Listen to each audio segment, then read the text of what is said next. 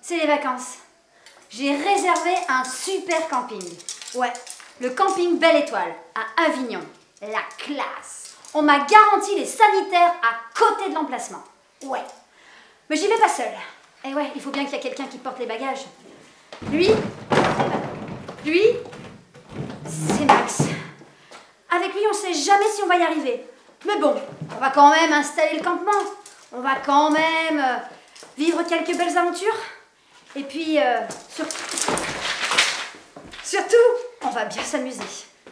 Ouais, quelques acrobaties, un peu de rire, euh, beaucoup de clowns. Et puis, euh, c'est à l'école du spectateur. C'est tous les soirs à 20h15. Voilà.